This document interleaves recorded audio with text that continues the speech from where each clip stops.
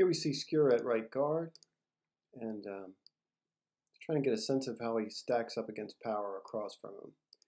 He is the Ravens' starting center. At least that's what we are led to believe. Uh, watch what happens. Guy pretty much goes right through him, just gets hands into him.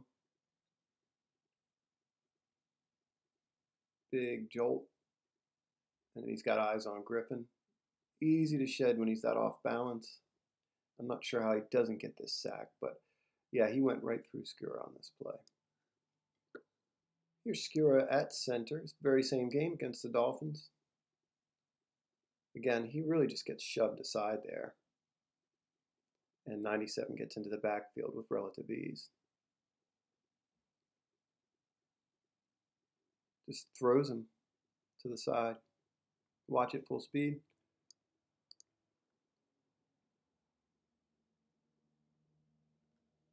I'm not sure that bodes well.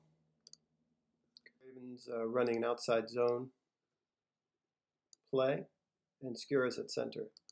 Uh, watch what happens to Skura. He really takes this guy, gets gets a uh, down block on this guy, and he's sort of engaged with the guard at the same time. Look how easy it is for him to sort of push Skura along. Skura just cannot make up ground or get in front of this guy or move this guy. Just carries him with one arm, basically carries Skura into the running back, and then makes the tackle.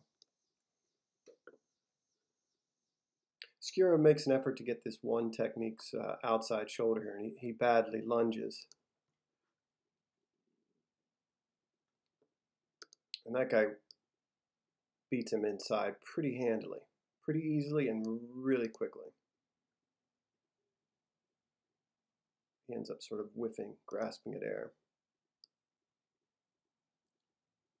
So that's a bad, bad uh, guess. If you are marginal as an athlete, you get beat with quickness and you get beat with strength.